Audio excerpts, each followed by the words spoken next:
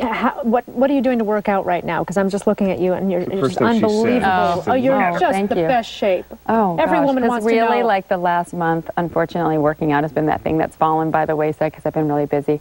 But in general, um, you know, I try to. Do, I probably work out three times a week, and usually I do like cardio for maybe I don't know 25 minutes, and then I'll do some weights or um, a power the power plate. I don't know if you've heard of that. the power plate. Does it rotate? It's this. It looks like a scale, and it vibrates. Oh. And you know, I think some people think you can just stand on it. Um, sounds good, and I wish it were true, but you actually you do exercises on it, just like push-ups or anything you would do.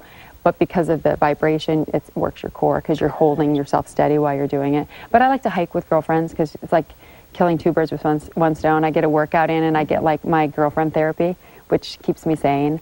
Um, or we, we were um, at, a, at a lake for a couple weeks in August, and I just I didn't have a gym there, so I went swimming or stand-up paddling is really fun. We do that in Malibu as well. I, I like the fact that you've said.